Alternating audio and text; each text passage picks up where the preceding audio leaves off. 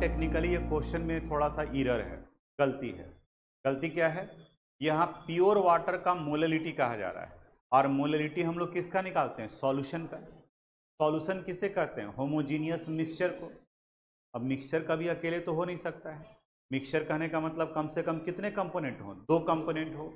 लेकिन यहाँ कहा जा रहा है कि आपको प्योर वाटर का निकालना है। और कॉम्पिटेटिव एग्जामिनेशन में पूछा हुआ क्वेश्चन है कई जगह पर। तो वन मार्क्स का क्वेश्चन अगर है तो 55.56 ये डाटा याद रखना है।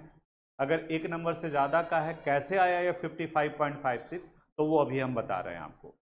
जब वाटर प्योर है तो वाटर ही सॉल्यूट होगा और वाटर ही सॉल्वेंट भी होगा। कोई अमाउंट नहीं दिया हुआ है तो इसके मास को हम लोग मान लेते हैं।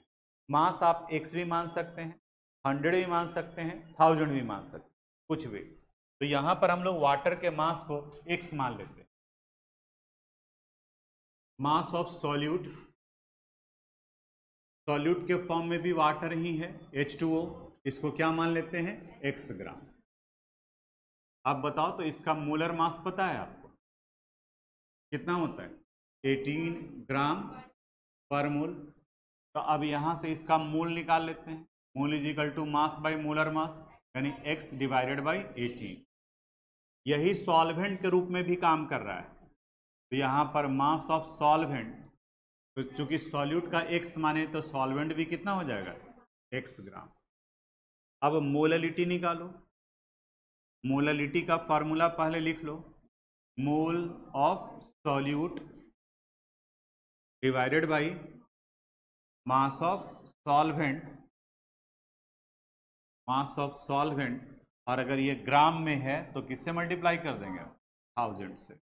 अब वैल्यू पुट करते हैं। मोल ऑफ़ सॉल्यूट कितना आया है?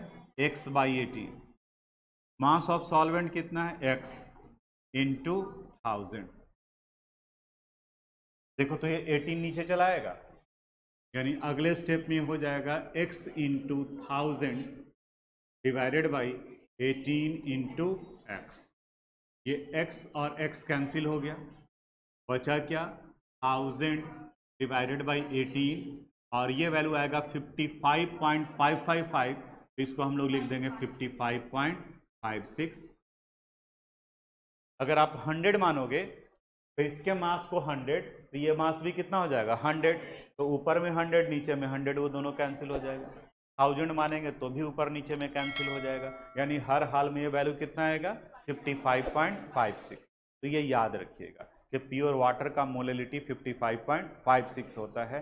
कई जगह पर ज़रूरत भी पड़ेगा इस नोट कर लो।